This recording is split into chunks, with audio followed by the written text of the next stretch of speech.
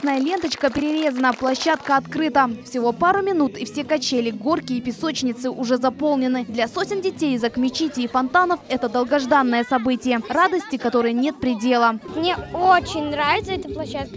Я сюда прихожу каждый день, я остаюсь до ночи, поэтому мне нравятся все аттракционы. Мне эта площадка очень нравится, особенно мне больше всего нравятся качели. Когда сильно раскатываешься, ну так ветерок дует. Обычно я тут с друзьями начал встречаться. Новая площадка единственная сразу в двух районах. Раньше места для игр у детей не было. Пока мальчишки и девчонки заняты играми, взрослые могут быть спокойны. Здесь дети в полной безопасности. Мы очень рады, что организаторы такую площадку классную тут создали. Детки тут вот все сплотились, все приходят, играются допоздна. Уже темно, они все играются. За 3-4 дня площадку установили. Очень довольны, очень радостны. Радостны наши дети. То есть, если счастливы наши дети, что нам? Мы тоже счастливы.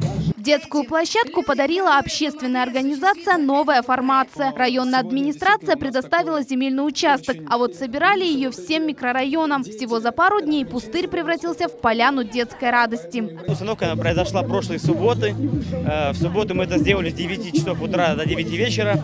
Моими героями личными являются жители местные, потому что они не сдавались до конца. Температура 41 градус, жара. Благодаря проекту «Счастливое детство» на полуострове уже установили 11 таких детских площадок. Все за счет благотворительных средств. Реализовывать проект предприниматели обещают и дальше. Султания Истакаева, Алишер Алимов, телеканал «Миллет».